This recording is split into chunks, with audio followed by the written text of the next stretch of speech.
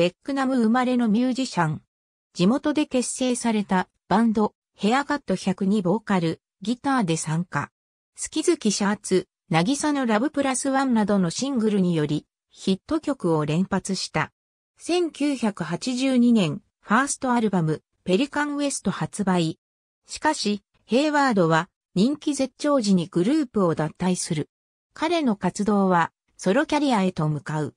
1983年、ソロ第一作目のシングル、ホイッスル、ダウンザウィンド、アルバム、風のミラクルがヒット。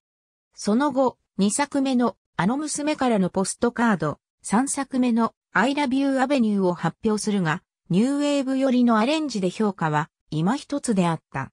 1983年頃、日本のテレビコマーシャルにて楽曲、君は、ピュアマイレディを提供。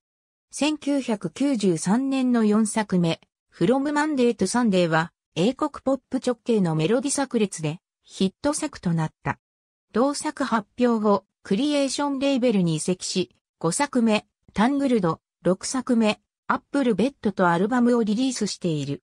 その後もインディーレーベルからグレッグ・エリスとの共作アルバムをリリースするなど地道に活動を続けている。ありがとうございます。